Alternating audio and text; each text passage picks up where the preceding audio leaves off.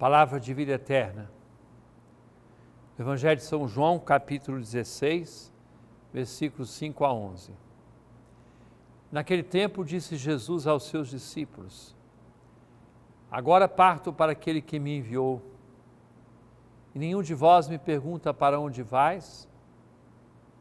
Mas porque vos disse isso, a tristeza encheu os vossos corações. No entanto, eu vos digo a verdade: é bom para vós que eu parta.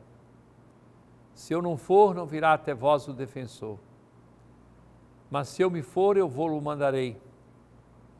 E quando vier, ele demonstrará ao mundo em que consiste o pecado, a justiça e o julgamento. O pecado, porque não acreditaram em mim. A justiça, porque eu vou para o Pai, de modo que não mais me vereis. E o julgamento, porque o chefe deste mundo já está condenado. Caríssimo irmão, caríssima irmã, o Espírito Santo nos mostra a verdade. Quando você quer tirar uma mancha de uma roupa, você não vai trabalhar na escuridão. Você desejará a luminosidade, a clareza para enxergar onde precisa tirar aquela mancha. Assim o Espírito Santo, ele queima, mostra onde estão as falhas, ele julga só com a sua presença ele convence, mostra os caminhos de conversão.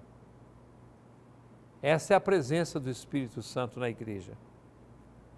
Durante esses dias, nós estamos clamando, pedindo a vinda do Espírito Santo, suplicando que este Espírito Santo venha até nós, para nos fortalecer, a fim de enfrentarmos todas as dificuldades e olharmos para frente e para o alto, superando toda a tristeza que pode pretender entrar em nosso coração.